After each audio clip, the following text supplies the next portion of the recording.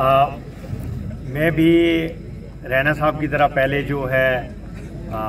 एक यहाँ भारत माता की वो आपको जय बोलना होगा भारत माता की जय! भारत माता की जय! माननीय श्री रविंदर रैना जी आ, स्टेट बीजेपी के प्रधान और एक बड़ी डायनामिक पर्सनैलिटी हैं जो अपना कार्य जो है बखूबी निभा रहे हैं और हर फ़ंक्शन में सर जो हैं वो चाहे वो ज़िला रजौरी की बात हो या पूरे यूटी की बात हो या इवन नेशनल लेवल पे भी हर जगह जो है अपना समय निकाल के आते हैं और आ, मैं सर सिर्फ़ थोड़ा सा ये ऐड करना चाहता हूँ कि ये बच्चे आज से कोई दो एक डेढ़ महीना पहले मेरे पास आए थे और ये काफ़ी जो है इनको कुछ मुश्किलातें थी। तो जब ये मेरे पास आए तो फिर वो एक डिपार्टमेंट का कोई इशू था तो मैंने उनको कहा भाई ये पहल जो है ये एडमिनिस्ट्रेशन की तरफ़ से होनी चाहिए। लेकिन अगर ये लंबेड़ी के बच्चे, ये रजौरी के बच्चे जो हैं, ये ड्रग्स या और चीज़ों में न जाके, ये इस स्पोर्ट्स के माध्यम से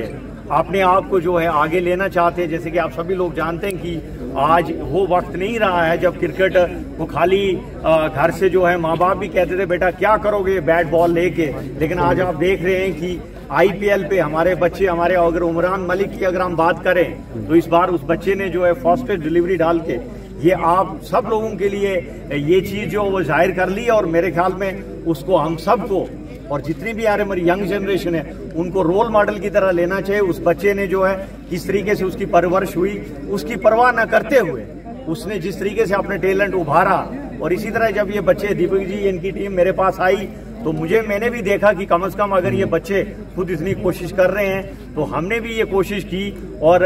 मुझे बड़ी खुशी है कि आज जो है इस स्तर पे हम बैठे जैसे सर ने कहा कि एक बड़ी छोटी सी पहल थी उसमें इनकी आज ये कंट्रीब्यूशन है और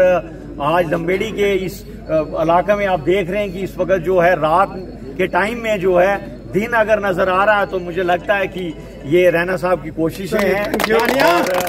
सबको जो है इस तरीके से जो है काम करने चाहिए। ये भी हमारे लिए जो ये सबके लिए जो एक रोल मॉडल है, जिस तरीके से ये अपने जज्बात और जिस तरीके से ये काम कर रहे हैं, मुझे लगता है हम सबको जो है नेशनल बिल्डिंग में ऑनरेबल प्रधानमंत्री जी का ऑनरेबल एलजी साहब का, तमाम जितने भी लोग हमारे इस वक्त जो हैं, इस नेशन बिल्डिंग में जुड़े हैं, उन सब का हमें सहयोग करना चाहिए। इसके लिए जो है मैं तमाम यूथ से ये अपील करूँगा कि वो ऐसे ऐसे कार्यक्रम, इन चीज़ों में जो है बहुत ज़्यादा स्कोप है। आजकल मैं ये कहता हूँ कि जितने भी हमारे नौजवान वो इवन कबड्डी हो, बैडमिंटन हो, और भी चीज़ें उनमें भी आजकल आईपीएल की तरह जो है वो स्कोप है, उनको आगे बढ़ना चाहिए। और पेरेंट्स से मैं ये कहूँगा कि वो वक्त नहीं रहा। जब ये कहते थे कि बच्चों, पढ़ने के अलावा कुछ नहीं है। मैं समझता हूँ आज स्किल इंडिया आज इतना कुछ जो है honourable prime minister of India ने हमें दिया है। और आप बच्चों को दिया है तो मेरे ख्याल में आज सिर्फ़ वो जज्बात रखने की ज़रूरत है, मेहनत करने की ज़रूरत है बहुत सारे आपके सामने जो है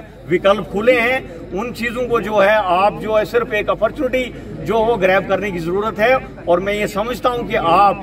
कहीं जो गंदी आते हैं जो ड्रग्स जिस चीज़ों में आजकल हमारा यूथ जो है उस तरह बढ़ रहा है तो मैं समझता हूँ दीपक जी और इनकी पूरी टीम को। मैं इसके साथ साथ आज जितने भी हमारे यहाँ सरपंच साहिबान आए, पंच साहिबान आए, और भी जितने मौजूद शहरी आए और खास करके हमारी संगीता मैडम जी जो डीडीसी मेंबर हैं और जो रात दिन जो है मैं उनको देखता हूँ कि पूरी कोशिशें अपनी जो कर रही हैं चाहे वो